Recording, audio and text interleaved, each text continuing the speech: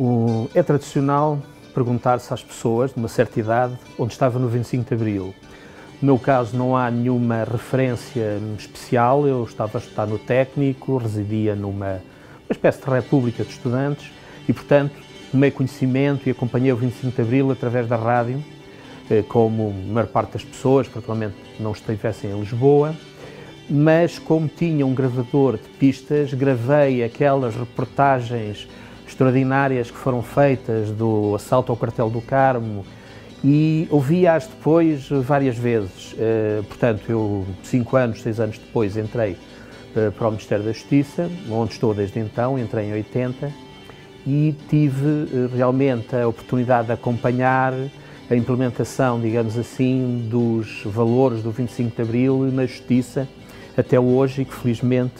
continuam a ser desenvolvidos e continuam a ser mantidos e, e continuam a estar, penso eu, na, eh, imanentes na maior parte das pessoas numa época em que, infelizmente,